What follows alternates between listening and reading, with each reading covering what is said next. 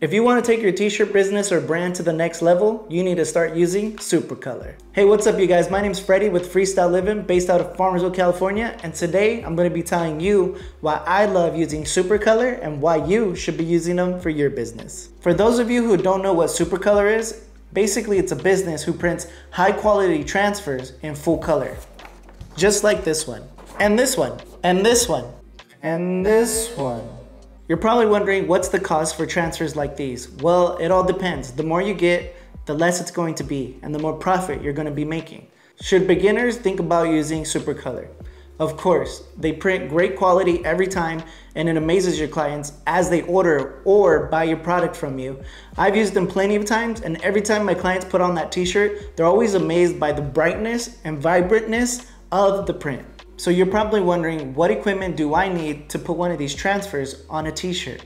Well, all you're really going to need is a heat press. And I got a link to one down below. Next, you're gonna wanna sign up with Supacolor, set up your account, and then go ahead and submit your print to them so then that way they can send it to you in two to three business days. So you're probably wondering how long does it take to print one of these on a t-shirt? Well, honestly, with the heat press, it only takes about 15 seconds. You literally just lay this down on your t-shirt, bring down the press, 15 seconds, bring it up, peel it away, and basically your t-shirt's ready to be worn. So if you're looking for new prints or just getting started to bring value to your business, I highly recommend Supacolor. But what print shop or machine do you like to use? Go ahead and leave your comment down below.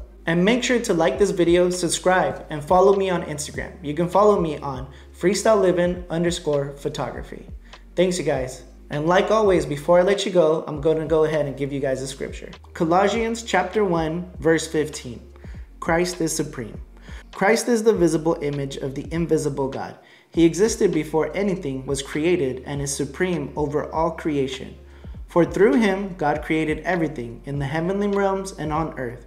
He made the things we can see and the things we can't see, such as thrones, kingdoms, rulers, and authorities in the unseen world. Everything was created through him and for him. He existed before anything else and he holds all creation together. Well, you guys stay blessed, don't stress, don't worry about the steps, have faith in Jesus. Peace.